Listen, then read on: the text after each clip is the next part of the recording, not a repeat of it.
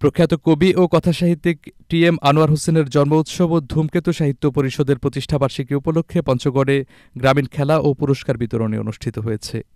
কবিতা হোক সমাজ পরিবর্তনের হাতিয়ার এই স্লোগানে সোমবার সকালে পঞ্চগড় সদর উপজেলার চাকলাহাট ইউনিয়ন সর্দারপাড়ায় এই খেলার আয়োজন করে ধূমকেতু সাহিত্য পরিষদ। খেলাধুলার শেষে পুরস্কার বিতরণী অনুষ্ঠানে ধূমকেতু সাহিত্য পরিষদের নির্বাহী পরিচালক, কবি ও কথাসাহিত্যিক টি এম মনোয়ার হোসেন, মাসিক হিমালয় সাহিত্য পত্রিকার সম্পাদক নূর হাসান এবং স্থানীয় আওয়ামী লীগ নেতা অলিউল্লাহ সহ অনেকে উপস্থিত ছিলেন।